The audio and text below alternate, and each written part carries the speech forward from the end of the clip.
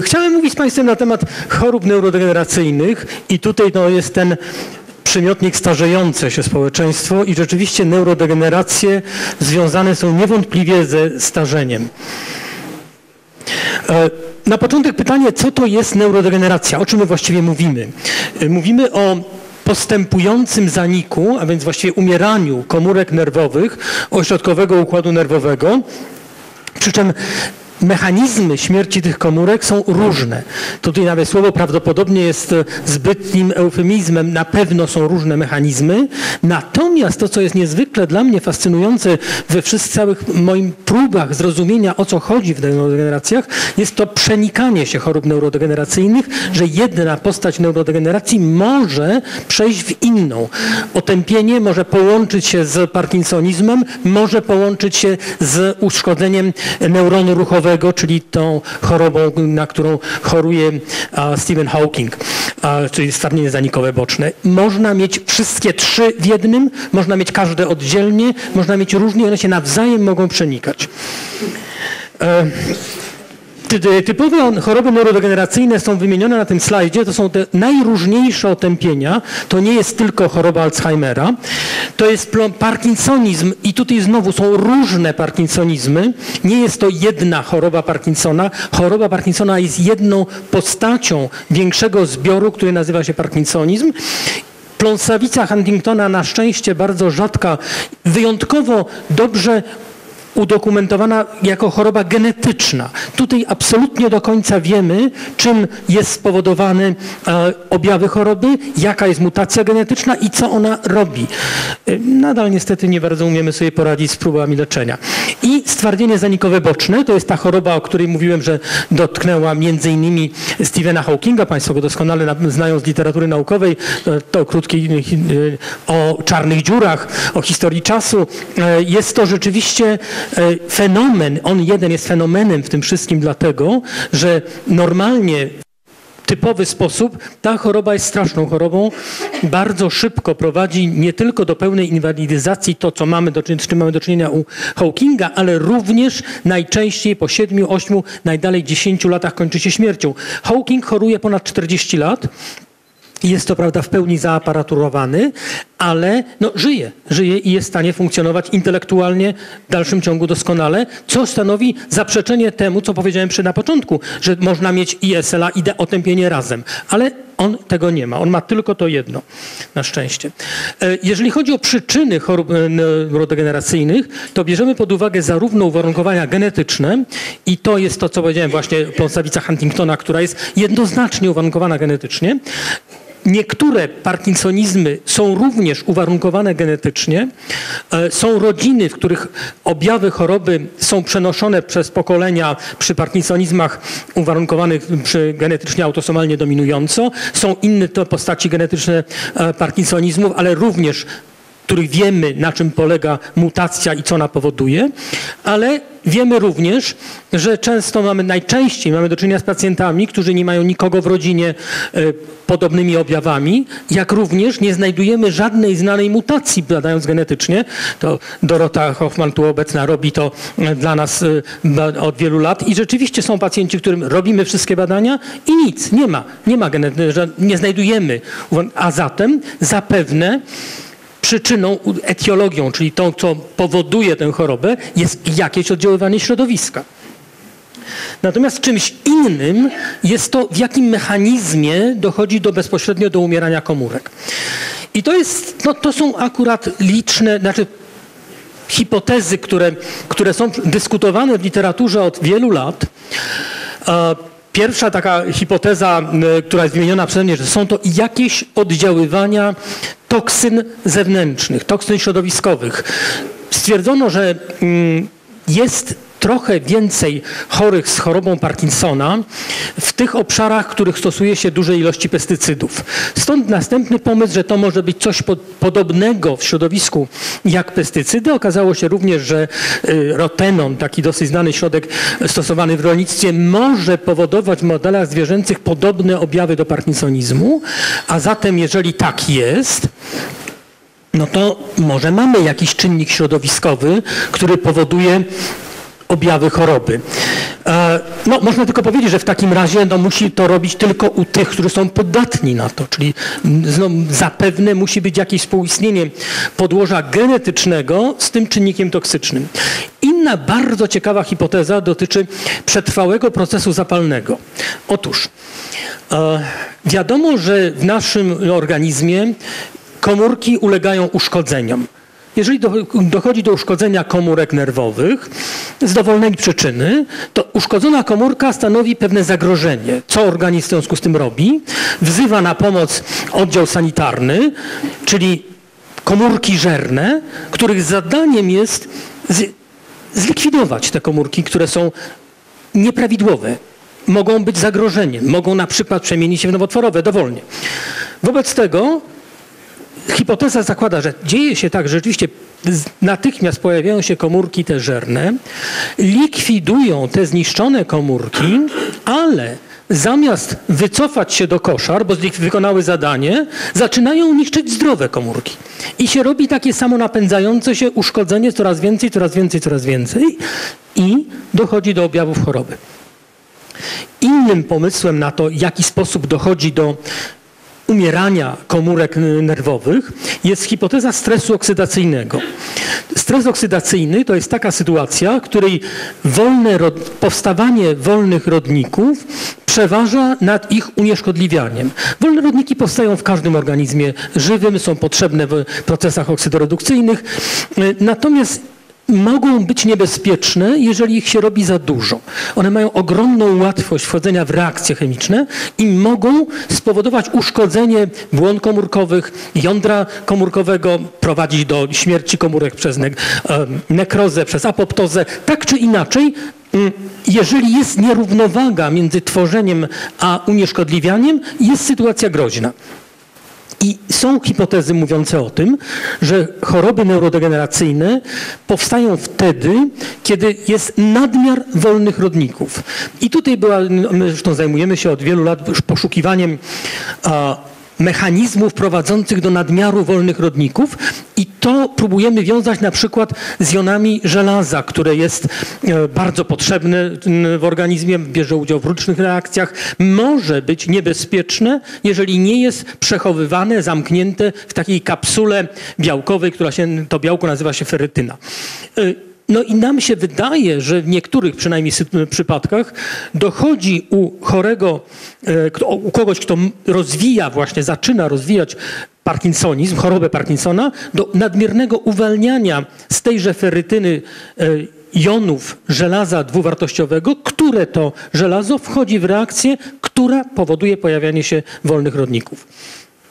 No i wreszcie ta ostatnia koncepcja, która jest rzeczywiście fascynująca, choć nie do końca pewien, na ile ona może być prawdziwa. Otóż e, okazało się nagle, że Państwo na pewno słyszeli o takiej metodzie leczenia choroby Parkinsona, w tej chwili już dosyć rzadko wykonywanej, ale jednak chodzi o przeszczepy komórek płodowych do tkanki mózgowej, do y, pacjenta y, z chorobą Parkinsona.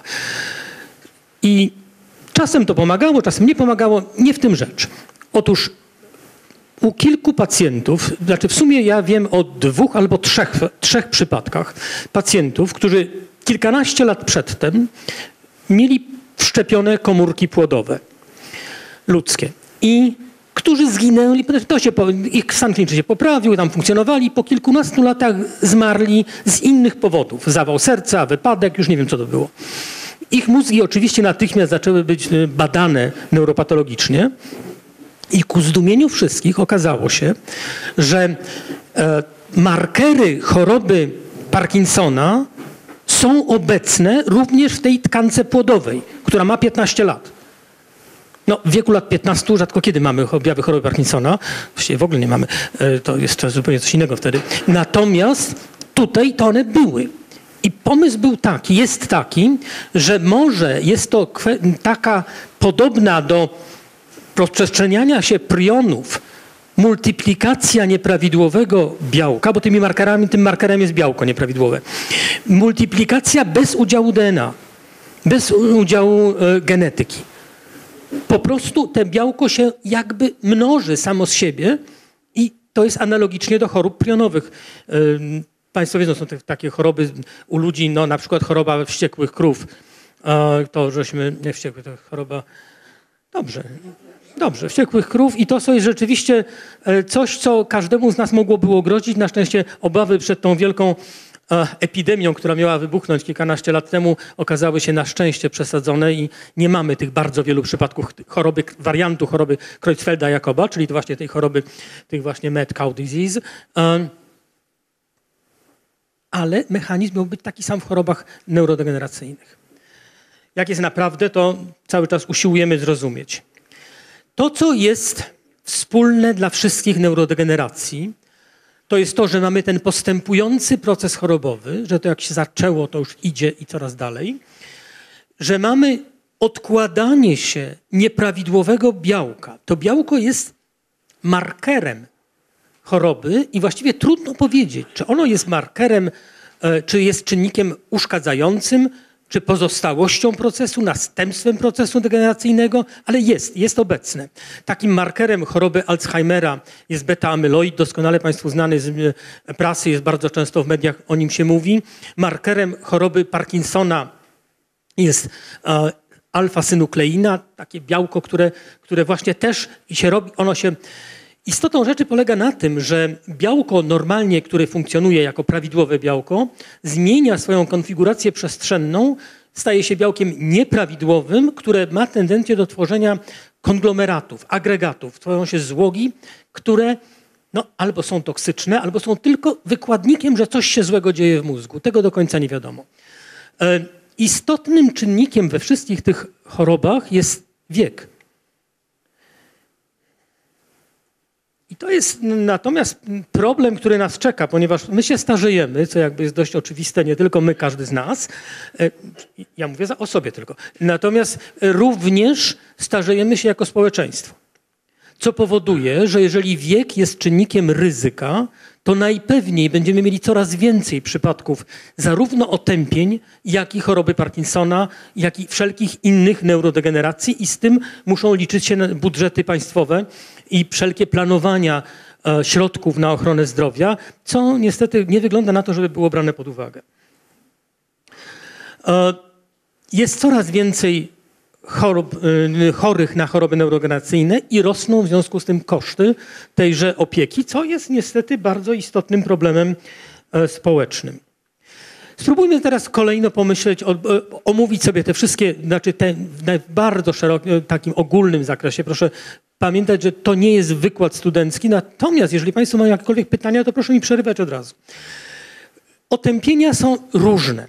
Nie każdy problem otępienia, znaczy zaburzeń pamięci, ale nie tylko zaburzeń pamięci. Otępienie to jest nie tylko zaburzenia pamięci, to jest również zmiana osobowości, sposobu zachowania.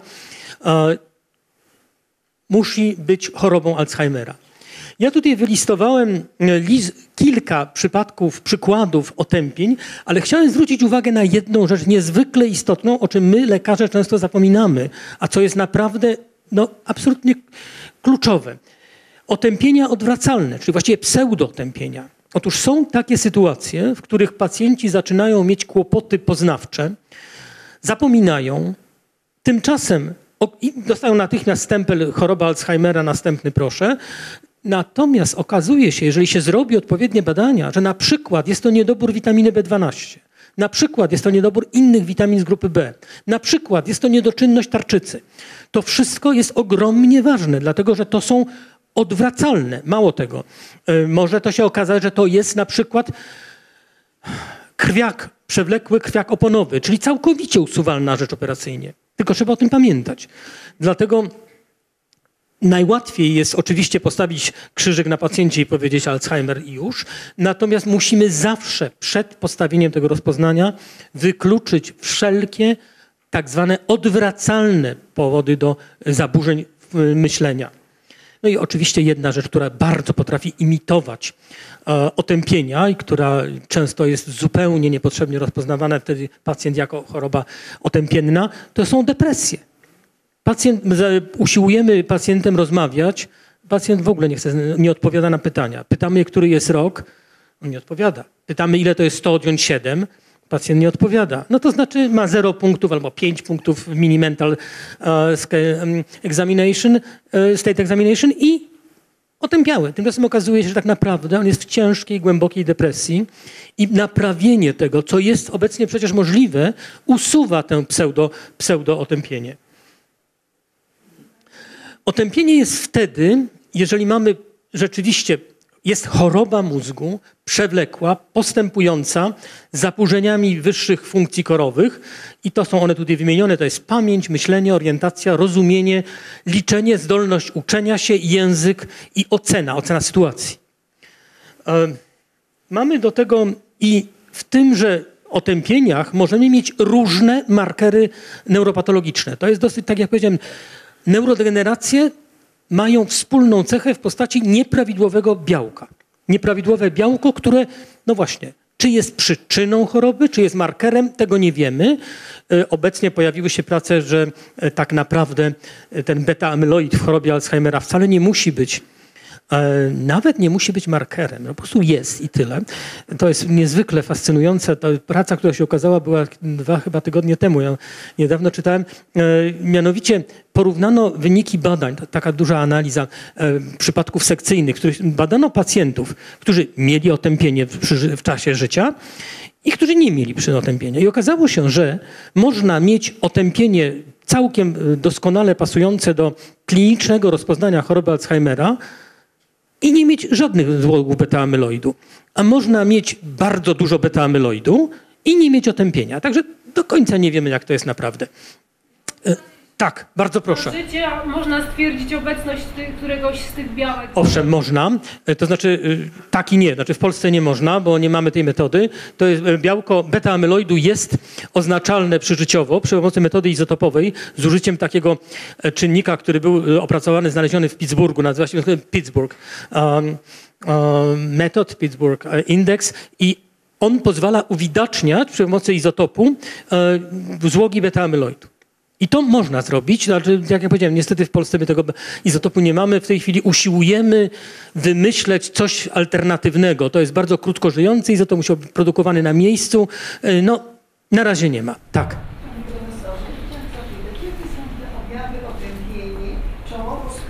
Panie robiłam sobie teraz czołowym. To się, znaczy, otępienie czołowo-skroniowe różni się od otępienia alzheimerowskiego głównie tym, że w początkowym okresie nie ma zaburzeń pamięci, natomiast są zaburzenia osobowości. Jest zmiana sposobu zachowania. Pacjent, który do tej pory był no, eleganckim, dobrze wychowanym, e, zawsze ogolonym, e, nie mówię o sobie, e, mężczyzną, który no, nagle e, zapuszcza się, to znaczy przestaje się myć, przestaje się myć. E, chodzi w piżamie przez cały dzień, zachowuje się nieadekwatnie do tego, co było przedtem. I to są charakterystyczne cechy dla otępienia czołowo-skroniowego. Zaburzenia pamięci w otępieniu czołowo-skroniowym pojawiają się później. Mogą być również w otępieniu, w takich wariantach otępienia czołowego, to już wchodzimy w bardzo takie subtelne rzeczy, zaburzenia mowy bez zaburzeń pamięci. To znaczy to się nazywa pierwotna, przewlekła, postępująca afazja, primary progressive aphasia i są różne typy tego i to jest tak, że pacjenci z tym problemem zapominają mówienia. Nie wiedzą, jak na, brakuje im słów, nie znajdują, przekręcają słowa, mają zaburzenia nazywaniu przedmiotów. E, to jest też rodzaj, e, znaczy jakaś cecha czy objaw e, otępienia czołowo-skroniowego. Natomiast samo stwierdzenie, że są zanik, niech pani się tym nie przejmuje, bo y, niestety my lekarze nie mamy świadomości, opisując badania i dając pacjentowi opisy niekiedy brzmiące dla nas absolutnie no, banalnie, bez znaczenia. Pacjent dostaje do ręki, ma torbiel pajęczynówki na przykład. No to po prostu wpada w przerażenie. A to jest wariant normy. Tylko ja to wiem, y, radiolog, który opisywał to wie, ale pacjent tego nie musi wiedzieć. No i no, są potem problemy. Natomiast y, wariant, innym y, rodzajem biał, znaczy w otępieniu z ciałami Lewiego to jest jakby rodzaj parkinsonizmu czy choroby Parkinsona, która zaczyna się wcale nie od zaburzeń ruchowych, a od zaburzeń właśnie kognitywnych, zaburzeń pamięci, myślenia z halucynacjami. I tam jest tak, to samo białko, które jest w chorobie Parkinsona patologiczne, tam jest w tym otępieniu z ciałami Lewiego. Natomiast te otępienia odwracalne, o których mówiłem, to ja jeszcze raz tutaj mówię, dlatego że to jest naprawdę bardzo, bardzo istotne. E, ja jeszcze nie mówiłem o infekcyjnych. Kiła, która była dawniej no, bardzo częstym, obecnie robi się również, wraca jej częstość występowania i w oddziale e, na Wołowskiej, gdzie pani profesor Barcikowska zajmuje się od lat zaburzeniami otępiennymi, oni zwracają u wszystkich pacjentów e, obecnie, czy nie ma kiły w badaniu, czy to daje się dość łatwo stwierdzić i okazuje się, u kilku procent e, pacjentów, ludzi z otępieniami mamy przyczynę otępienia w postaci infekcji kiłowej w bardzo zaawansowanych stadiach. No AIDS również może prowadzić do otępienia. Tutaj są te kryteria diagnostyczne otępienia. Ważne jest, że są to trudności w funkcjonowaniu społecznym i lub zawodowym i że to jest istotne pogorszenie do tego, co było przedtem. E, natomiast musimy wykluczyć e, powodowane, że nie jest to delirium, nie są choroby psychiatryczne. Tutaj jest depresja bardzo istotnym elementem do wykluczenia. I y, mamy rzeczywiście w badaniu psychologicznym mamy zaburzenie funkcji kognitywnych. Y, to jest te rzeczy, które bierzemy w badaniu neuropsychologicznym pod uwagę zaburzone uczenie, zapamiętywanie, myślenie, rozwiązywanie problemów, ocena sytuacji. No to wszystko, co jest w naszym życiu codziennym niezwykle istotne po to, żeby można było normalnie funkcjonować. Bardzo istotne zaburzenia orientacji wzrokowo-przestrzennej. Dość często e, otępienia zaczynają się od tego, że pacjent zaczyna mieć kłopoty z zaplanowaniem podróży z domu. No niby od, dziesiątków lat chodził e, ze swojego domu, ja wiem, na dworzec centralny i nagle, o rany, jakie mam pójść? To jest kwestia, to na chwilę, potem wraca, ale jednak to jest taki bardzo niebezpieczny sygnał, że te zaburzenia orientacji są przestrzennej albo również wzrokowo-przestrzennej. Jak przerysować obrazek? Jest bardzo taki, bardzo prymitywny test. Ja go pokażę, bo to jest bardzo takie ładne. Ja bardzo często proszę pacjenta, żeby ułożył tak ręce jak ja. To jest bardzo proste, bardzo, bardzo łatwe. Natomiast osoby, które mają zaburzenia orientacji wzrokowo-przestrzennej, nie umieją tak ułożyć rąk. I znaczy wykonują różne manewry, układają różnie te palce. No i to jest problem. Znaczy, to znaczy, że jest pewien kłopot, który się dzieje. E, e, państwo sobie posprawdzali i możemy pójść dalej. Do oceny e, stosujemy najprostsze takie testy, które są no, przy łóżko można każdego pacjenta e, w gabinecie lekarskim wszędzie można zrobić. To jest ten mini mental state examination, o którym mówiłem. To jest taki test, którym zadajemy bardzo prymitywne pytania, e, jaki jest dzień, e, jaki jest miesiąc, jaki jest rok. Staramy się, żeby pacjent nam oddejmował, to się nazywa serial 7, od 107 i to 5 razy, albo przeliterował jakieś krótkie słowo, bo na przykład kwiat, ale od końca do początku. E, prosimy, żeby coś przy, przeczytał i, i e, proszę zamknąć oczy, na przykład na kartce jest napisane i to pacjent ma przeczytać ze zrozumieniem, czyli ma zamknąć te oczy. To są bardzo proste rzeczy. Normalnie my bierzemy, znaczy na, Prawidłowo y, suma punktów za każdą odpowiedź jest prawidłową, jest jeden punkt. Norma, to znaczy 30 punktów to jest maksimum, które można osiągnąć. O otępieniu mówimy wtedy, kiedy jest poniżej 25, poniżej 26, poniżej 25 zaczyna się mówić o otępieniu. Jest to bardzo, bardzo grubo. się skokowo czy liniowo? Jeszcze choroby? raz. Czy choroby rozwijają się liniowo czy skokowo? Raptem y bardzo dobre pytanie. Skokowo dochodzi do y, otępień w przebiegu zmian miażdżycowych, tak zwanej, jeżeli przyczyną otępienia są zmiany miażdżycowe. One bywają często, ale nie jest miażdżyca, to nie jest Alzheimer i odwrotnie też nie jest. Natomiast jeżeli mamy do czynienia ze skokowym pogarszaniem się, to myślimy przede wszystkim o naczyniowym podłożu. Jeżeli mamy powolną progresję, to, mamy, to myślimy o neurodegeneracji. Y, Oczywiście musimy pamiętać, że ocena zależy przede wszystkim od wieku, to prawda, ale wykształcenia i dotychczasowej aktywności zawodowej i społecznej. To jest bardzo istotna rzecz, o której musimy pamiętać, że naszym całym życiem pracujemy na to, żeby nasz mózg jak najdłużej mógł funkcjonować. To wydaje się być tautologią, czy, ale tak chyba po prostu jest. Znaczy w ciągu naszego życia tworzą się połączenia międzyneuronalne, w mózgu, w korze mózgowej, ale w ogóle w całym mózgowiu. E, Im więcej pracujemy, od dzieciństwa poczynając, tym więcej tych połączeń się tworzy. I teraz, jak mamy już proces neurodegeneracyjny, który nam uszkadza mózg, który powoduje zanik, to w sytuacji, kiedy mieliśmy dużo tych połączeń, pomimo postępującego zaniku, przez długi czas możemy funkcjonować w miarę normalnie. Potem dochodzi niestety do tego, że przestajemy funkcjonować normalnie, jak jest ta, przekroczymy taki punkt krytyczny, kiedy tych połączeń już prawie w ogóle nie ma. Natomiast kiedy, jeżeli my nie pracujemy, nie pracowaliśmy tym mózgiem przedtem, tych połączeń mamy mało, to ten punkt krytyczny osiągniemy w znacznie krótszym czasie. Czyli różnica dotyczy tylko czasu trwania bezobjawowej choroby. Bo problem polega na tym, proszę Państwa, że do objawów klinicznych choroby i Parkinsona, i Alzheimera dochodzi wtedy, kiedy liczba komórek nerwowych spada poniżej 50% tego, co jest na początku. To zwłaszcza dotyczy choroby Parkinsona. I to jest rzeczywiście dramat dla nas lekarzy również, dlatego że w momencie, jak pacjent już ma objawy, to właściwie już jesteśmy na, na zgliszczach. To znaczy już mamy bardzo mało zostawionej tkanki nerwowej.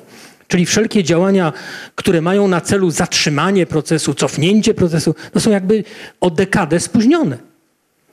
No i to jest pewien kłopot. E, natomiast ten test rysowania zegara to jest też taka e, bardzo prosta rzecz. Chcę, prosimy pacjenta, żeby narysował tarczę zegara, albo sami narysujemy mu tarczę zegara z narysowanymi cyframi, liczbami, liczbami odpowiadającymi godzinom i prosimy, żeby ustawił wskazówki na przykład na położeniu za 10 trzecia, albo dowolnie inne. No i, i to stanowi, zaczyna się w momencie, kiedy e, trwa proces neurodegeneracyjny, nagle niby taka prosta rzecz, za 10 trzecia, no, duża wskazówka, mała wskazówka, prosta, nie? Nie wychodzi. Po prostu pacjent nie jest w stanie tego zrobić.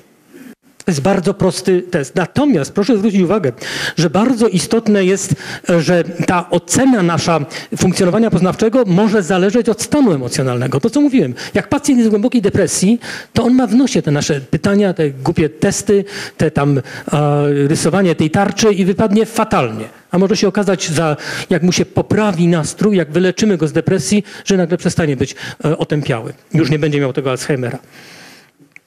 No to jest właśnie, no tutaj akurat jest 15 po 9, ale to wszystko jedno.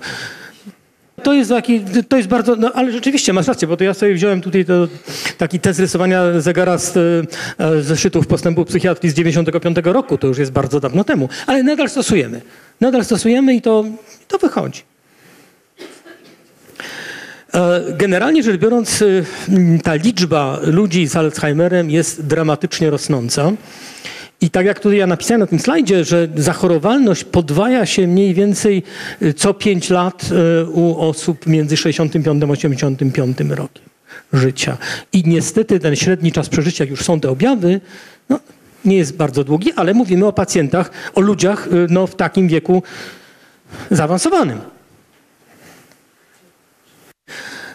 Czy mamy jakiekolwiek możliwości leczenia czy prewencji?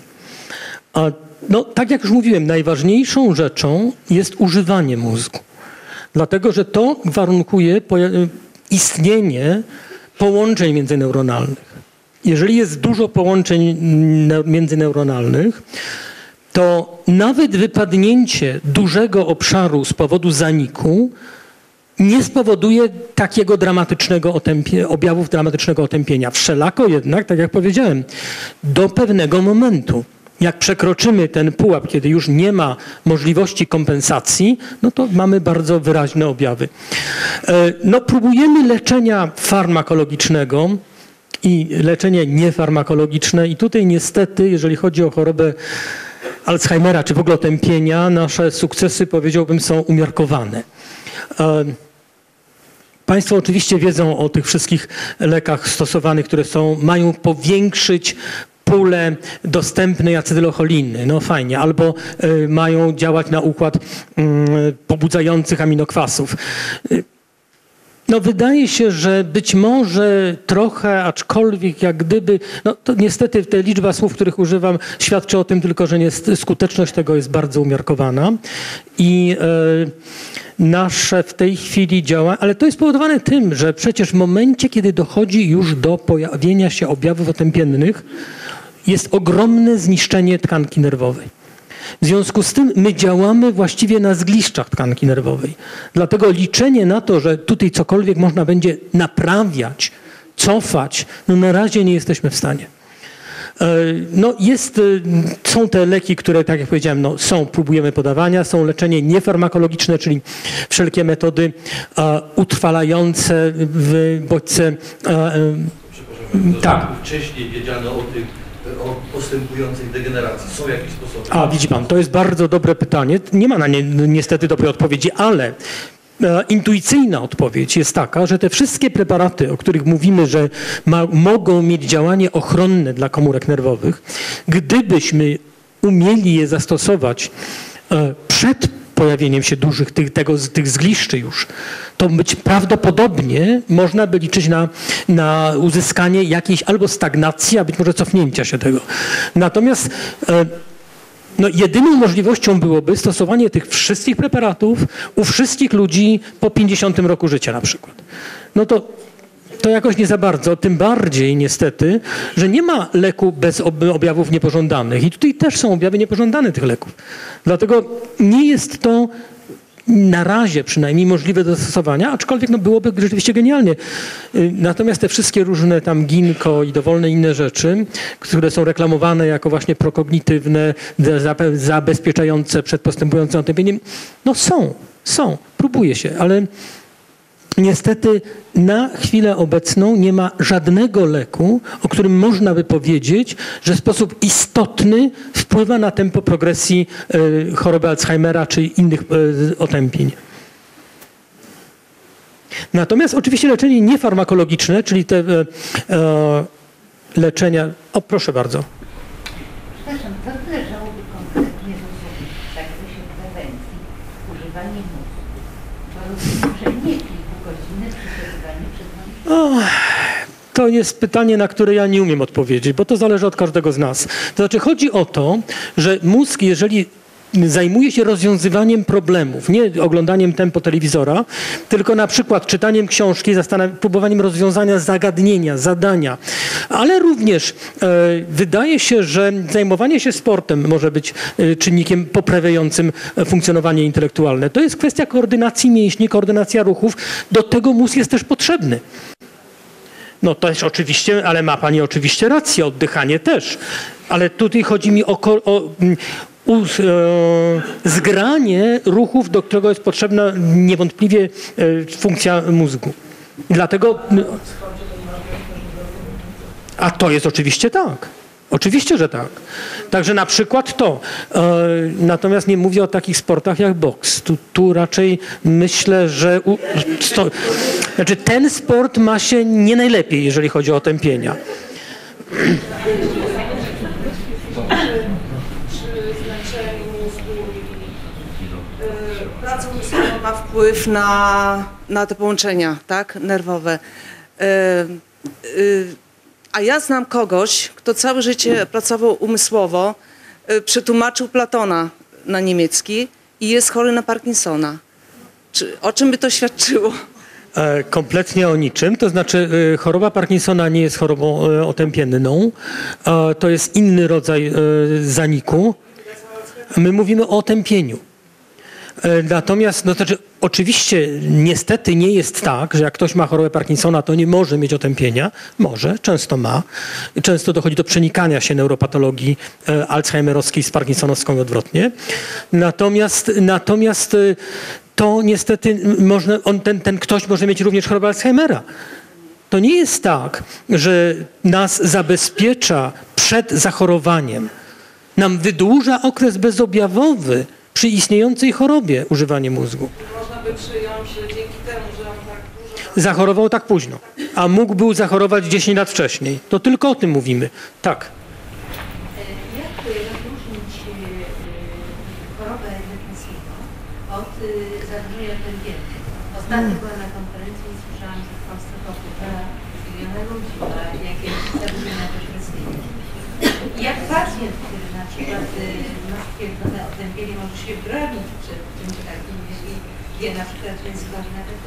To znaczy, są, e, znaczy można oczywiście e, rozpoznawać depresję na podstawie objawów klinicznych, jest, są od tego badania psychologiczne, to się daje zrobić. Natomiast mm, i rzeczywiście często depresja mm, jest maską, znaczy udaje otępienie. Ale y, samo posiadanie depresji, przepraszam za taki neologizm, nie wyklucza otępienia. Można być depresyjnym z powodu otępienia. Jeżeli sobie zdaje, człowiek ma świadomość tego, że mu się pogarsza funkcjonowanie intelektualne, co w początkowym okresie choroby Alzheimera występuje. Pacjent wie, że coraz trudniej daje sobie radę w znajdywaniu drogi, coraz trudniej rozwiązuje problemy w pracy naukowej, wszędzie. I wtedy ma depresję. Oczywiście próba leczenia antydepresyjnego może mu pomóc, ale nie wpłynie na samą chorobę. E, No i właśnie to leczenie niefarmakologiczne to jest właśnie używanie mózgu. Staranie się, żeby e, ten mózg robił, ale to nie może być bezmyślne używanie mózgu oczywiście, chociaż często to robimy. E, To, jest, to ważne jest, żeby stawiać zadania i nie wyłączać się z działalności intelektualnej. To nam pozwoli, nawet jeżeli mamy proces neurodegeneracyjny w postaci otępienia, dowolnie którego, jak, jak będziemy nazywali to otępienie. Jeżeli będziemy używali, to mamy dużą szansę, że na przykład umrzemy, zanim się pojawi otępienie.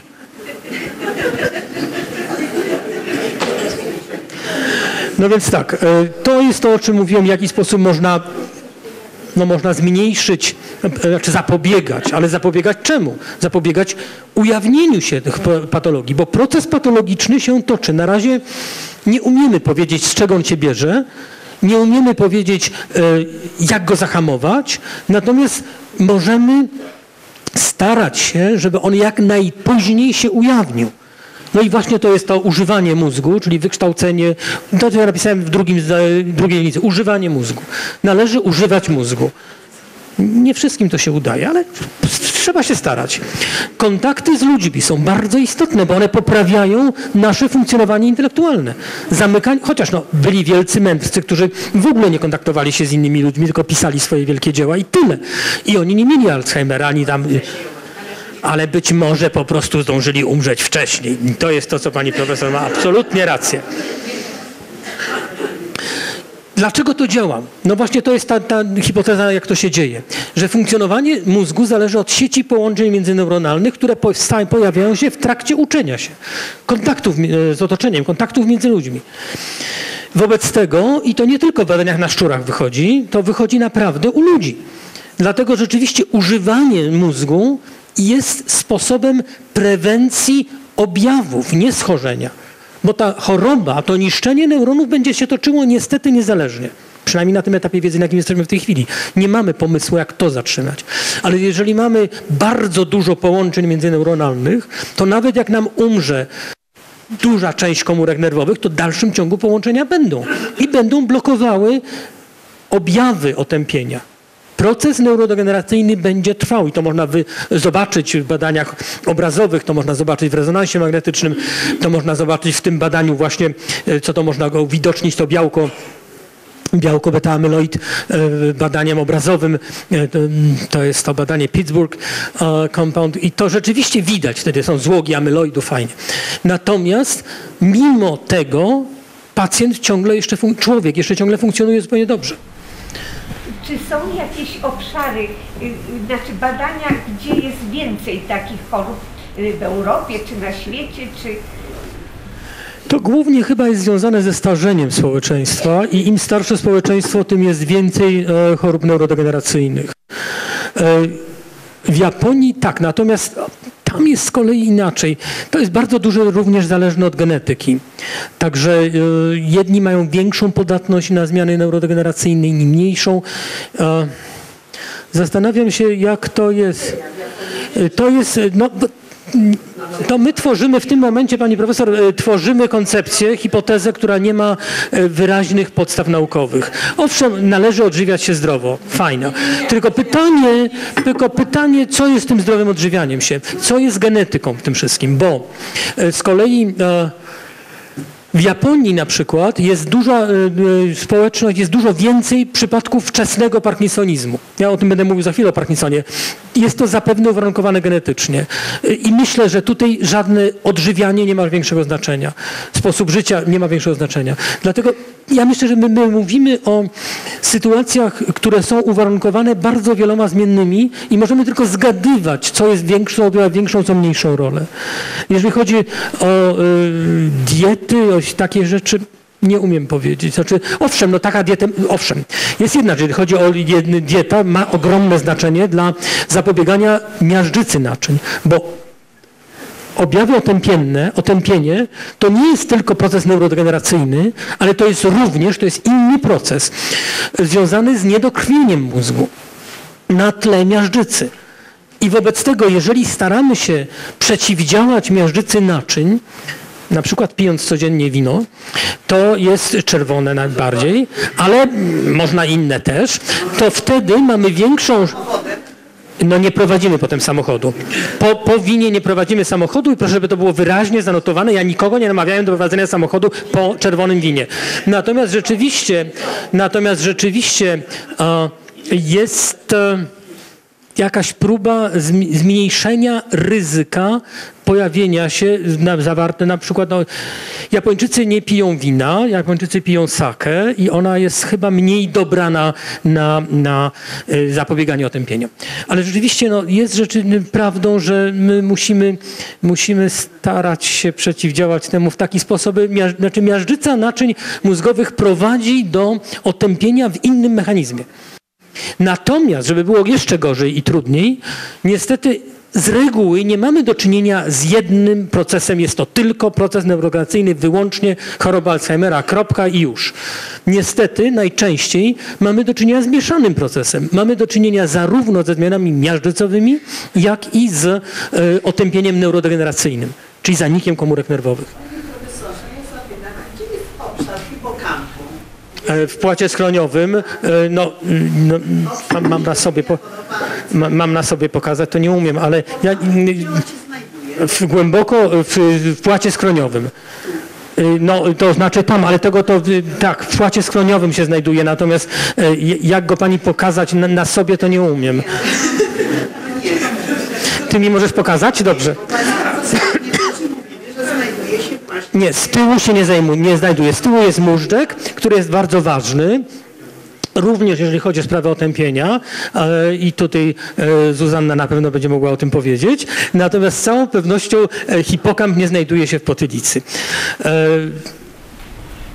Mam jeszcze pytania a propos Tak. wieku. Czy jest tendencja w tej chwili, żeby zapadalność na choroby otępienne zaczynała się, jakby obniżał się wiek zapadalności związku z, nie wiem, tempem życia? To chyba nie ma takiej obserwacji. Y, To jest kwestia łatwiejszego w tej chwili diagnozowania, większego wyczulenia na to.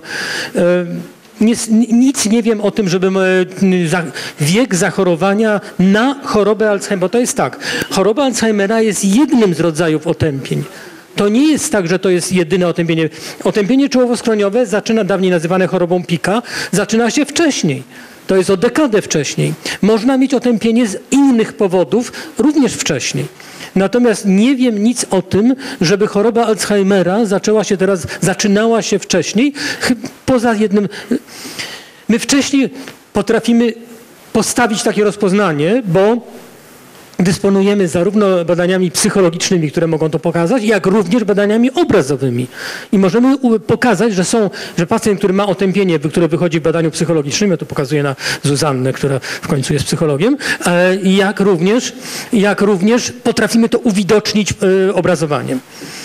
E, Prewencja, no rzeczywiście, tak jak napisałem, walka z mm, tym, co może dokładać naczyniowe uszkodzenie. Czyli to, o czym e, pani mówiła, to jest e, miażdżyca naczyń dokłada się do e, uszkodzenia neurodegeneracyjnego. Zatem jeżeli jesteśmy w stanie zmniejszyć miażdżycę, planując nad ciśnieniem, nad poziomem cukru, nad cholesterolem, a również pijąc czerwone wino, no to mamy szansę na to, że mamy mniejszy komponent naczyniowy otępienia.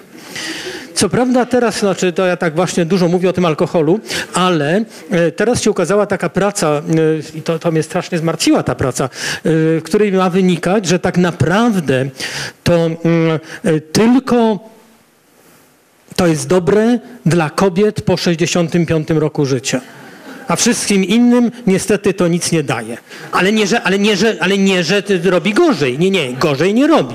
Natomiast nie zapobiega, nie zapobiega miażdżycy. Ale to jest taka jedna praca, ja bym się tym nie przejmował. Była, była bardzo doskonała praca opublikowana, co prawda już 3 albo 4 lata temu, w której e, oceniano funkcjonowanie, właśnie oni strasznie te, w tej nowej pracy, tej ostatniej pracy strasznie tamtą krytykują, ale ja się z nimi pryncypialnie nie zgadzam. Oni mianowicie e, w tej starej pracy, tej przed trzech lat, wykazali, że najlepiej się mają intelektualnie ci, którzy codziennie piją e, przynajmniej jeden lub dwa drinki. E, Jakie sake? Ja mówię o drinkach, a nie o sake. Ja mówię i nie o Japończykach. Natomiast, I że to rzeczywiście poprawia, znaczy daje znacząco lepsze funkcjonowanie intelektualne z mniejszym ryzykiem otępień. E, Tam chodziło o to, że to mają być właśnie dwa drinki, to jest najlepiej, a abstynenci to w ogóle najgorzej. Ale to, to na pewno jest coś nie, nie, nie, nie, nie, niezgodne, nie, tak, nie, niepoprawne politycznie. Tak czy inaczej, czerwone wino, za wszystkich Państwa namawiam. Z... Przepraszam. Kawa bardzo dobrze, kawa też bardzo dobrze, e, zwłaszcza w chorobie Parkinsona bardzo dobrze. E, zaraz będę o tym mówił. E, natomiast rzeczywiście kawa jest też bardzo dobra. E, No niestety, jeżeli chodzi o neuroprotekcję, to Państwo o to pytali, e, no to niestety nie ma żadnej skuteczności stwierdzonej w badań, takich uczciwych, dobrze prowadzonych badaniach, żadnego ze środków działających na, na otępienie prewencyjnie. No poza, jak mówię, czerwonym winem, to na pewno można spróbować. To, to przynajmniej nie szkodzi. Tak, przynajmniej tak mi się wydaje. Cicho, że wątroby, już niech pani nie, nie, nie, nie wprowadza takiej grojl propagandy. Jeżeli chodzi o leczenie farmakologiczne, to mamy dwa, dwie grupy leków stosowanych w leczeniu e, otępień alzheimerowskich. E, Jedna to dają zwiększenie puli dostępnej acetylocholiny, to jest ten neuroprzekaźnik, który funkcjonuje w układzie pamięci, w mózgowi, zresztą w bardzo wielu miejscach funkcjonuje. Natomiast i to jest, są te wszystkie leki, które są dostępne w tej chwili na, na polskim rynku, jak również e, chodzi o blokowanie aktywności aminokwasów pobudzających, to jak inny mechanizm śmierci komórkowej. No jest to dostępne, skuteczność tego jest trudna do oceny. Tutaj jest taki był pomysł niestety nieskuteczny, a nawet groźny, bo był taki pomysł, żeby niszczyć, bo, ponieważ w chorobie e, Alzheimera dochodzi do odkładania się złogów beta-amyloidu, tego tak nieprawidłowego białka, e, no to żeby to zniszczyć, sposoby były różne, wymyślano, się okazało, że niestety można równocześnie zniszczyć pacjenta. Jest to skuteczność pełna, tylko nie o to chyba chodziło. Także to na razie niestety nie jest dobra metoda. Natomiast jeżeli chodzi o stosowanie komórek macierzystych, e, no to, no to nie ma danych klinicznych, żeby to mogło pomóc. No i są leczenia niefarmakologiczne. Zwłaszcza najważniejsze w tym wszystkim to są terapie kognitywne, czyli ćwiczenie pamięci, ćwiczenie orientacji, yy, ćwiczenie, no używanie mózgu. Krótko mówiąc, używanie mózgu. I to jest istota rzeczy. Należy używać mózgu. Jeżeli chodzi o parkinsonizm, to to jest grupa chorób, w którym dominującym objawem jest spowolnienie ruchowe. E, I tutaj jest między innymi choroba Parkinsona, ale również inne parkinsonizmy. Tutaj też mamy nieprawidłowe białko, które jest alfa-synukleina. No, jest to choroba znacznie mniej e, rozprzestrzeniona w populacji europejskiej czy polskiej. Tu Państwo mają dane liczbowe. Rozpoznanie jest dosyć, jest oparte o objawy ruchowe, natomiast e, niestety to jest nie tylko One są nie tylko objawy ruchowe, są również inne objawy, które nie związane są z ruchem. E, Tak czy inaczej, rozpoznanie jest dobrze, jest dosyć proste klinicznie, chociaż obarczone zawsze ryzykiem popełnienia błędu. Jest bardzo ważna odpowiedź na lek, który zastępuje brakującą dopaminę w mózgowiu, a choroby, objawy ruchowe są związane z brakiem dopaminy i tutaj jest to właśnie dobra odpowiedź na lek, który w mózgu staje się dopaminą. Tak jak powiedziałem, są objawy ruchowe, ale niestety są również pozaruchowe i do takich objawów należy e, zaburzenia układu autonomicznego, czyli ciśnienie krwi, perystaltyka jelit, zaburzenia snu, niestety bardzo częsta depresja, jak również otępienie, które jest, może być częścią immanentną choroby Parkinsona, a nie tylko choroby Alzheimera. No to bardzo piękny rysunek, zawsze go pokazuję na wykładach. To jest Marka Szagala, e, stary człowiek z laską i widać u tego starego człowieka wszystkie możliwe cechy parkinsonizmu z pochyloną sylwetką, e, drobnym krokiem, brakiem współruchów kończyn górnych. Czynnikiem ryzyka choroby Parkinsona jest na pewno wiek, tak jak i Alzheimera. Częściej chorują mężczyźni i częściej niektórzy twierdzą, te objawy pojawiają się te chorzy w środowisku wiejskim. Być może jest to spowodowane zanieczyszczeniem środowiska. Natomiast zmniejsza ryzyko podobno palenie papierosów. Większość chorych na chorobę Parkinsona nie pali papierosów. Oczywiście można założyć, że ci, którzy mieliby ewentualnie rozwinąć chorobę Parkinsona w przyszłości, zdążyli spokojnie umrzeć na raka płuca, zanim dożyli do wieku Parkinsona. I to byłoby najprostsze rozumowanie. Wydaje się, że to nie jest całość tłumaczenia tego zdumiewając- zdumiewającego faktu. Y, Jakieś działanie prewencyjne nikotyny wydaje się być mieć miejsce. Natomiast picie kawy, to mówiłem o tym, pani mnie pytała o kawę. Kawa ma niewątpliwie działanie ochronne, kofeina w tejże kawie. Ten znak zapytania ja na wszelki wypadek go postawiłem, ale to chyba można już prawie na pewno, prawie na pewno, prawie czy niewielką różnicę, e, zlikwidować. I kofeina zmniejsza ryzyko choroby Parkinsona, a na pewno poprawia działanie leków parkinsonowskich. Co do witaminy E, to strasznie trudno powiedzieć.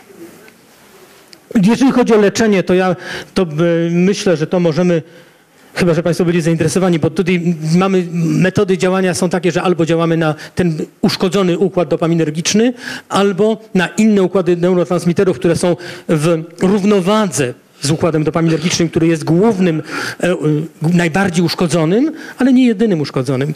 Jak, no i wreszcie mamy te leczenia operacyjne.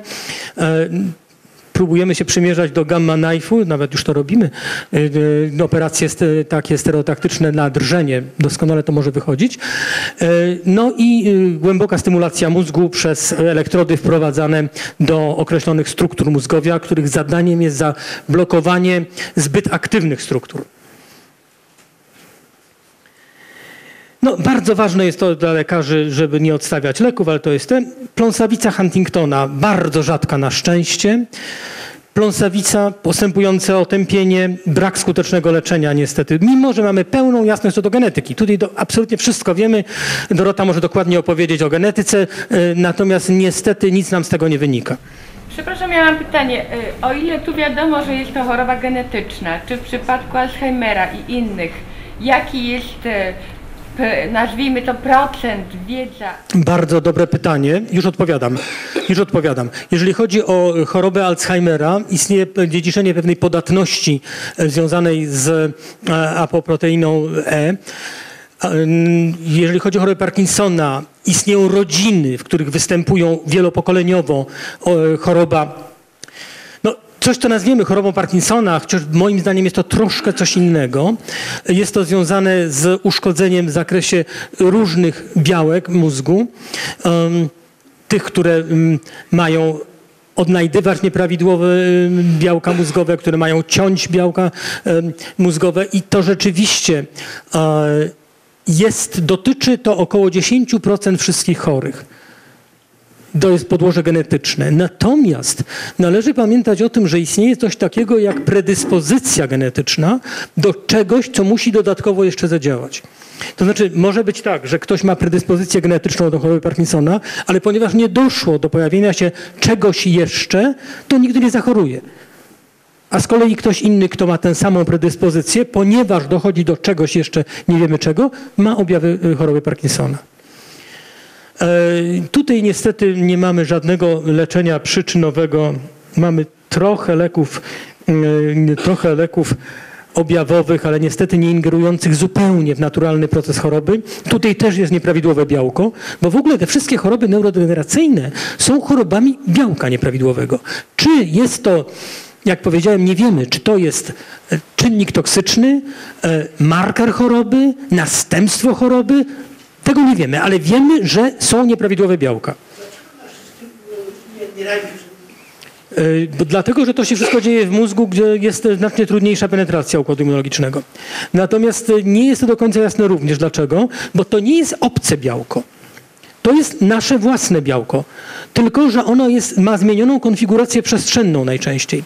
Tak sam, tak, e, ta Huntingtyna istnieje normalnie i jest normalna jest, nikomu niczego złego nie robi. Jak się, jak, się jest, jak się robi nieprawidłową, to się robi e, zanik mózgu. Y, Alfa-synukleina istnieje cały czas w mózgu. Dopiero jak się zmienia konfiguracja przestrzenna, pojawiają, to świadczy o, o chorobie. Ale czy ona powoduje, czy Huntingtyna powoduje pląsawicę Huntingtona, czy też jest jej następstwem, nie umiem odpowiedzieć, nie wiemy tego. No, leczenie jest tylko tak naprawdę, uczciwie rzecz biorąc, objawowe. I wreszcie to jest e, takie na zakończenie stwardnienie zanikowe boczne, ta choroba, na którą choruje Stephen Hawking, który jest jedyną osobą znaną w historii, która przeżyła już ponad 40 lat z tą chorobą i, i ciągle e, funkcjonuje intelektualnie cały czas rewelacyjnie. Natomiast jest całkowicie zdany na wszystkie możliwe aparaty. Nie oddycha, nie mówi. Mówi za niego maszyna notabene z amerykańskim, a nie brytyjskim akcentem. Zdaje się, że on ma to, trochę ma, e, ma, ma za złe, że, że ona mówi nie, odwrotnie, Jola wie lepiej. To potem powiesz. A jego żona, ale wiedziałem, że ktoś miał za złe, ale żon, tym gorzej. Ja wiedziałem, że jednak coś jest nie tak, bo on powinien mówić z brytyjskim, a mówi maszyna za niego z amerykańskim akcentem. No to jest właśnie tenże Stephen Hawking i jego zdjęcie mogę pokazać, bo on jest publicznie. Jeszcze raz? Na razie, nie, nie, z tego co wiem, to żadne z dzieci Hawkinga nie ma e, tej choroby. Natomiast to jest właśnie, to, to, to, ta choroba nazywa się właśnie stwardnienie zanikowe boczne, czyli SLA, sklerozy lateralis amiotrofika. Tutaj się e, również dochodzi, do- znaczy chodzi do uszkodzenia układu nerwowego w zakresie dotyczącym ruchu. Ulegają uszkodzeniu komórki ruchowe, rogu przednich rdzenia i w rdzeniu przedłużonym komórki, te, te jądra, które sterują poruszaniem języka, twarzy, jak również drogi wiodące pobudzenia z kory mózgowej do, do kończyn, do mięśni. Tutaj też jest nieprawidłowe białko, ale to no, niestety nie ma żadnego leku działającego na przyczynę choroby. Taki lek, który, który miał działać mm, sześć, no, jeżeli przedłuża się o 6 tygodni życie chorego z nowotworem, y, chorego życia z nowotworem, to to się uważa za sukces. Natomiast y, tutaj y, niestety no, nasze sukcesy terapeutyczne powiedziałbym są wielce umiarkowane, o tak bym to powiedział. No i wreszcie to jest taki pomysł na, na, na właśnie te wszystkie choroby, w tym między innymi na SLA, czyli to właśnie stwardnienie zanikowe boczne. I tutaj jest praca rzeczywiście bardzo interesująca w Ameryce, bo ona pierwsze wyniki były opublikowane dwa lata temu. Podawanie komórek macierzystych, mezenchymalnych, bezpośrednio do rdzenia kręgowego, czyli tam, gdzie się dzieje proces chorobowy. I według tego, co podawała na konferencji, ale to już było publikowane, nie tylko konferencyjnie, Ewa Feldman, e, da, u kilku pacjentów doszło do wyraźnego spowolnienia tempa progresji choroby. Period. Nic więcej nie potrafię powiedzieć. Czy to jest następstwo przeszczepionych tam, poddanych bezpośrednio do rdzenia komórek macierzystych, e, czy też jest to odczyn własny rdzenia na uszkodzenie bez komórek macierzystych i pobudzenie do tworzenia a, e, czynników wzrostowych, które zapobiegają wymieraniu komórek, nie wiemy tego. No ale jak na razie niestety na tę chorobę nie mamy żadnego leczenia w ogóle. No właśnie. I to jest tyle, że choroby neurodegeneracyjne stanowią istotny problem każdej sprawie, i medyczny, i społeczny, i ekonomiczny. Niestety z racji starzenia się wzrastać będzie liczba chorych, no i cała nasza nadzieja w nauce. Bardzo dziękuję i proszę o pytania. Zobaczymy jak to. Tak. Na wiele pytań pan profesor już odpowiadał w Stresy. trakcie. Znaczy, co pani nazywa stresem? Co pani nazywa stresem? Ach, strasznie trudne pytanie. Nie umiem na to odpowiedzieć, bo to jest tak. Um, jeżeli, pani, jeżeli mózg nie, reaguje, nie, nie musi wchodzić w interakcję z otoczeniem w ogóle i sobie siedzi i tkwi, to myślę, że nie robi mu to dobrze. Jeżeli wchodzi w interakcję z otoczeniem, to jest narażony na stresy. Czy stres robi dobrze na mózg? Zależy od stresu. Niedobory witaminy B mają oczywiście znaczenie dla, dla otępienia, ale to, to nie jest otępienie, to jest tak zwane otępienie odwracalne. To jest rzeczywiście niezwykle ważne, że jeżeli mamy do czynienia z pacjentem, który ma, przejawia, mamy otępienie, rozpoznajemy klinicznie, musimy wykluczyć wszystko to, co umiemy naprawić. Niedobór witaminy B12 umiemy naprawić, B1, B6. Nie, wszystkie B1, B2, B6, B12. Ja mam takie dwa pytania. Pierwsze, chodzi o to stwardnienie zanikowe boczne. Tak. Jak się diagnozuje? Czy rezonans magnetyczny może... Kompletnie nic. Znaczy, owszem, była taka praca nawet z kliniki neurologii na Banacha, gdzie stwierdzono e, zmiany w drogach piramidowych e, w, w rezonansie magnetycznym, ale to rozpoznanie tutaj jest znacznie prostsze na podstawie badania elektromiograficznego, czynności mięśnia, wykazania odnerwienia mięśnia. To, to jest dość, dość proste i jesteśmy w stanie to zrobić. A drugie pytanie dotyczy białek. Pan mówił, że e, te wszystkie choroby są oparte na jakichś e, złych białkach. W związku z tym, czy wegetarianie, którzy jedząc nie dostarczają sobie wszystkich aminokwasów, w związku z czym nie tworzy się właściwe białko? Nie, to nie ma czy żadnego bardziej znaczenia. zapadają na te choroby, czy nie? Dokładnie tak samo jak wszyscy inni. To nie ma żadnego znaczenia. To chodzi o nieprawidłowość białka naszego własnego, które powstaje w mózgu, które powinno być prawidłowym białkiem, a robi się nieprawidłowym z racji zmiany konfiguracji przestrzennej. Ale to nie ma nic wspólnego z dietą i białkiem pokarmowym. Nie ma żadnego znaczenia e, di- dieta i białko pokarmowe. Oczywiście poza e, wygłodzeniem. Jeżeli pani doprowadzi się do niedobiałczenia, to będzie to inny problem.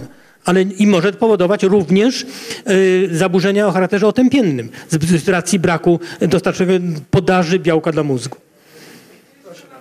Panie profesorze, Pani profesor prowadzi. panie profesorze, we wrześniu skończę 85 rok życia. Całe życie nie paliłem. Jestem absolutnym abstynentem, zaznaczam alkoholowym. I, A o jakiej abstynencji innej pan i myśli? absolutnie nie, nie stwierdzam u siebie żadnych objawów otępienia. Ale, Sekund, sekund. ale to jeszcze nie było pytanie. Na razie to była reklama. A, a drugie pytanie, drugie pytanie. Czym wytłumaczyć y, fenomen y, ludzi, którzy osiągają na przykład 100 lat życia, tak jak powiedzmy ostatnio Danuta Szaflarska i, i też nie mają objawów otępienia? Trzecie pytanie. Ale to jak- nie jest pytanie. To, to, ja zaraz panu, jeżeli pan pozwoli, bo ja zapomnę oczywiście, bo pierwsze nie było pytaniem, tylko było stwierdzeniem i ja panu gratuluję, bardzo się cieszę razem z panem. Jeżeli chodzi o Danutę Szaflarską, to myślę, że jej charakter, być może genetyka y, i to jest wszystko. Można mieć 100 lat i być w doskonałej formie intelektualnej, a można mieć 75 i być niestety otępiałym całkowicie. To jest zupełnie niezależne, myślę, że głównie zależne od geny. Od genów. I trzecie. y, w jakim naj, jak powiem, najniższym wieku spotkał się pan z otępieniem? Oj, proszę pana, to zależy od przyczyny, bo są otępienia zupełnie innego rodzaju niż alzheimerowskie i to może być u dziecka nawet. To jest pląsawica Huntingtona w postaci Westfala młodzie- młodzieńczej zacząć się może w wieku lat 10-12 i też będzie otępienie. To wszystko zależy od przyczyny. Alzheimer uważa się, że przed rokiem, e, znaczy teraz się mówi o 40 którymś roku życia, tylko wtedy to jest raczej dawniej nazywane chorobą pika, e, czyli e, frontotemporal, czyli czołowo-skroniowe otępienie. Jeżeli istnieje oczywiście sztywny podział, rozdzie- rozdzielenie tych otępień. Czy wiadomo, co powoduje zmiany konfiguracji białek? O, bardzo dobre pytanie, nie mam zielonego pojęcia. Niestety nie wiadomo. No, przy prionach na przykład jest taka hipoteza, że y, jeżeli się przypadkiem zdarzy, że jakieś białko y, utworzy strukturę nie taką jak trzeba, to one jednocześnie wymuszają podobne, zja- po, podobną zmianę na sąsiadujących, które jeszcze jest nie to, co są ja mówiłem, e, zepsute. o tej Takie tak, ale to tak nie jest- zwane ale- kooperatywne, ale to Ale są niestety, priony. Ale to niestety nie potrafię na to odpowiedzieć, nie wiem. Pani już zadała dużo. E, Ja mam pytanie o e, chorobę Alzheimera. Po pierwsze, jakie jest e, rozpowszechnienie? E, Po drugie, e, czy jest jakiś związek e, między e, chorobą Alzheimera a e, piciem kawy i jeśli tak, to czy też są wtedy właśnie jakieś zmiany w, zależności od krajów, w których się pije więcej kawy, a w, innych mniej? E, tak, je- jeżeli chodzi o rozpowszechnienie choroby Alzheimera, to ono zależy oczywiście od, od, e, znaczy od, znaczy od wieku badanej znaczy populacji. To jest tak, że w populacji powyżej 80 roku życia uważa się, że może być to powyżej 50% osób ma objawy choroby otępiennej w postaci choroby Alzheimera. Natomiast mm, czy y, jest to y, picie, czy picie kawy. W ogóle w Polsce uważa się, że jest na, na całej populacji, tak jak napisałem na tym slajdzie, 400 tysięcy, 500 tysięcy, czyli dość dużo. N- Jest to oczywiście zależne od wieku. W populacji poniżej 40 roku życia otępienie jest znacząco rzadsze niż w populacji powyżej 80 roku życia. Czy picie kawy? Kawa ma działanie, jak się wydaje, tego się nie daje tak łatwo udowodnić, neuroprotekcyjne, czyli ochronne dla mózgu. Wobec tego Zakładając, że jest taka szansa, namawiam do picia kawy wszystkich moich pacjentów. Natomiast czy, czy, jest, czy możemy to udowodnić w sposób zero-jedynkowy? Nie, nie możemy. Były takie próby podejścia do właśnie poziomu kofeiny spożywanej. Nie daje się jak na razie tego udowodnić. Ja, ja, panie profesorze, mam pytanie, czy operacja głębokiej stymulacji mózgu jest odwracalna w przypadku e, choroby Parkinsona, e, jeżeli wynajdzie się jakieś nowe metodę, to czy to jest po prostu e, no, do co- cofnięcia i zastosowania nowej metody, bo słyszałem po prostu, że jeżeli chodzi o, o tą operację, no to tam baterie starczają na jakieś 5 lat. Stąd Nie, to znaczy na szczęście te baterie starczają, znaczy sam, bateria, wymiana baterii jest w ogóle żadnym problemem. Natomiast e, poprawa jest przez wiele lat i to nie jest 5 lat. Natomiast e, głęboka stymulacja mózgu, czyli wprowadzanie elektrody do tych struktur, które są nadmiernie aktywne w chorobie Parkinsona, jest operacją odwracalną. To znaczy nie ma tam uszkodzenia nieodwracalnego, nie powodujemy nieodwracalnego uszkodzenia struktur mózgowia. Wobec tego, jeżeli na przykład to się zdarza, ma, mamy takich pacjentów, że ta elektroda przestała funkcjonować, jest, przerwał się przewód, albo z jakiegoś powodu uważamy, że trzeba ją usunąć, to usuwamy tę elektrodę i wracamy do, do, do sytuacji sprzed włożenia elektrody. Y, Lezja dokonana elek- wkładaniem elektrody jest bardzo niewielka. Mam pytanie dotyczące aktywności pamięci. Chodzi o zjawisko takie jak występowanie przypominania sobie poszczególnych słów, czasami zwrotów, bez związku z sytuacją. Czy to się może wiązać z którąś z tych chorób? Myślę, że nie, ale to Zuzanna jest od tego znacznie bardziej specjalistką, bo jest psychologiem. Nie, nie wiem. Znaczy tak poważnie y, nie mam pojęcia. Y, Powtarzanie, przypominanie sobie zwrotów, każdy z nas to ma i nie ma to żadnego związku ani przełożenia na, na chorobę neurodegeneracyjną. Ja chciałam powiedzieć, Ale niosąc jest- ten mikrofon, To znaczy jest tak, że zjawisko déjà vu czy déjà entendu to jest zupełnie coś innego. To należy do kręgu napadów padaczkowych. Jest to związane z możliwością, niech pan u siebie nie rozpoznaje padaczki, ale to może być objawem napadowości.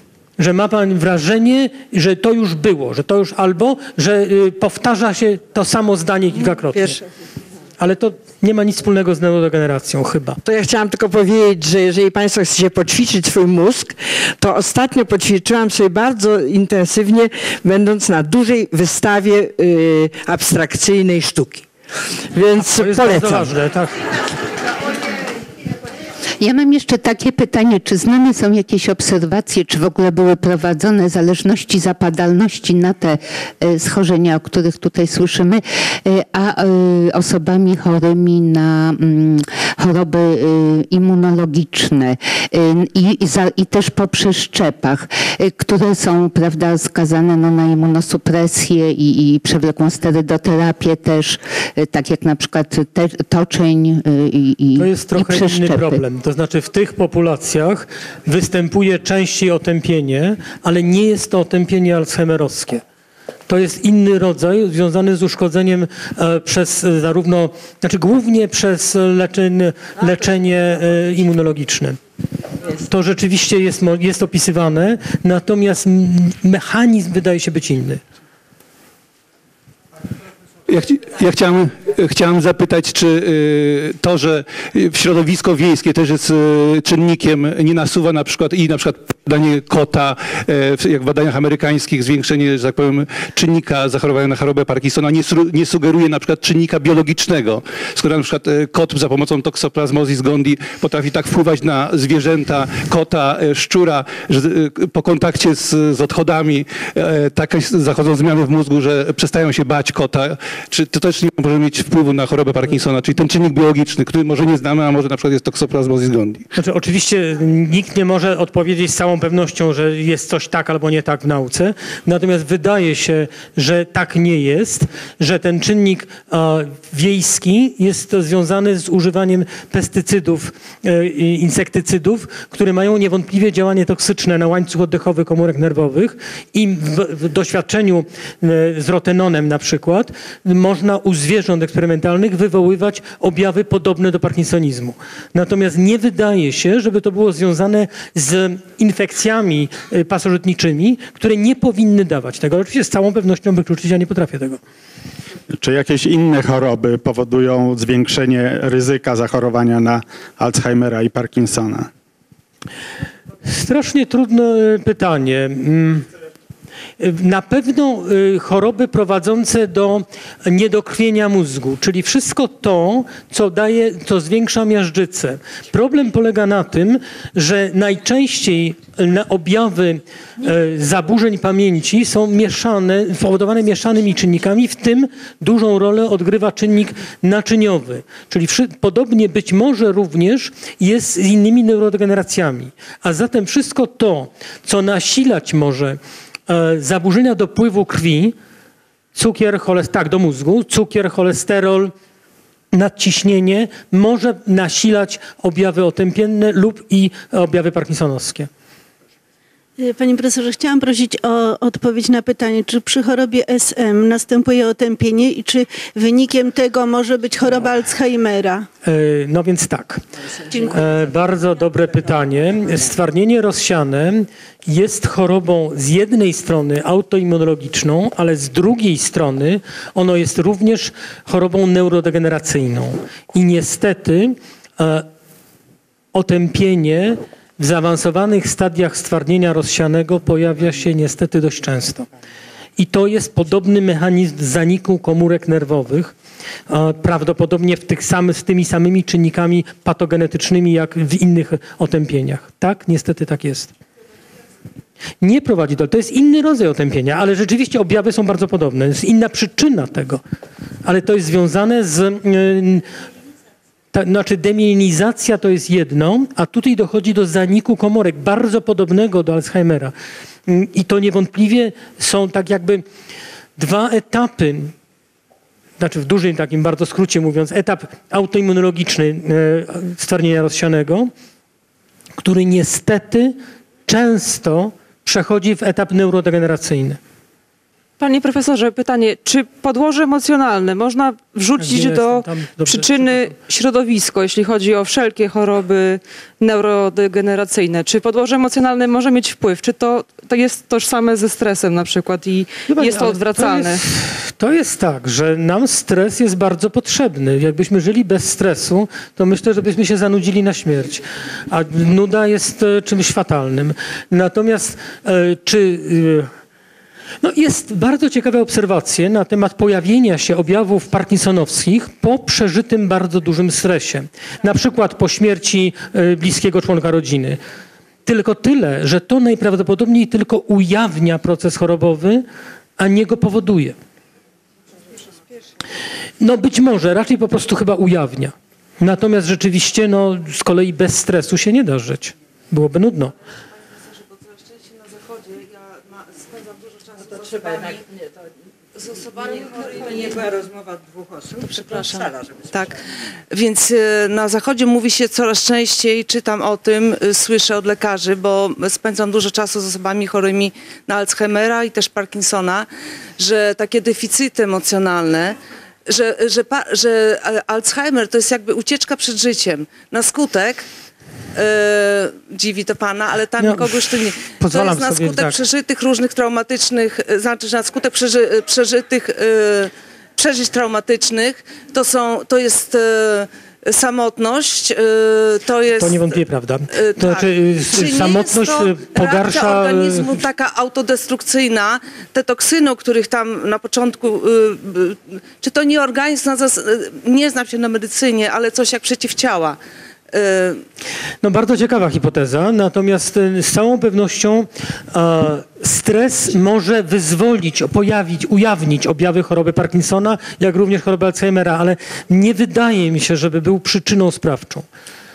Tak. E, Jakie są pierwsze e, objawy otępienne, po czym e, normalnie się, roz, albo u chorych, albo po czym otoczenie też może, znaczy najczęściej... To zależy od rodzaju otępienia. wychwytuje. Dlatego, że inaczej to trochę wygląda w otępieniu czołowo-skroniowym, inaczej w otępieniu alzheimerowskim. W otępieniu alzheimerowskim to jest najczęściej właśnie zaburzenia pamięci. To się zaczyna od zaburzeń pamięci, a w otępieniu czołowo-skroniowym od zaburzeń osobowości, zaburzeń zachowania, może inaczej, zachowania. Natomiast na podstawie samego tego, tego faktu, że zapominam e, nazwisk ludzi, jeszcze nie muszę stawiać e, sobie ani nikomu rozpoznania choroby Alzheimera. To nie jest tak na szczęście tak, tak jednoznacznie prosto.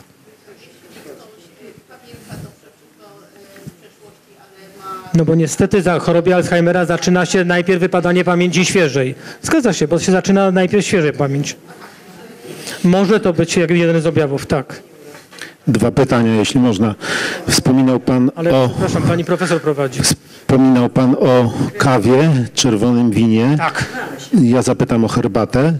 I czy badano y, wiek, w którym te osoby, które piły właśnie wino, y, herba, kawę, ewentualnie herbatę, y, kończyły swoje życie? Bo być może kończyły wcześniej i dlatego miały szansę. Y, To, y, tak, oczywiście. I drugie pytanie, czy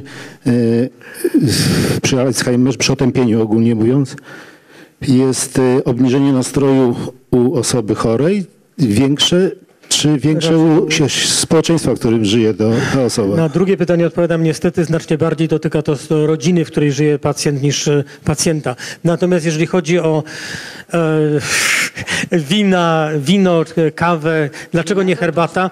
Nie wiem. Niewątpliwie jak pani nie ma cukrzycy, to może być z cukrem. Natomiast chodzi o kofeinę. Natomiast jak pani ma cukrzycę, to proszę nie. Natomiast jeżeli chodzi o... E, nie, kawę tak, tylko cukru nie. Natomiast dlaczego teina, która jest bardzo podobna do kofeiny, nie ma działania ochronnego, nie wiem. Natomiast wydaje się, to jest to wszystko razem dosyć trudne do udowodnienia. Wiadomo, że kofeina poprawia działanie leków parkinsonowskich, wchodząc w metabolizm dopaminy. I to jest ok, to się daje pokazać.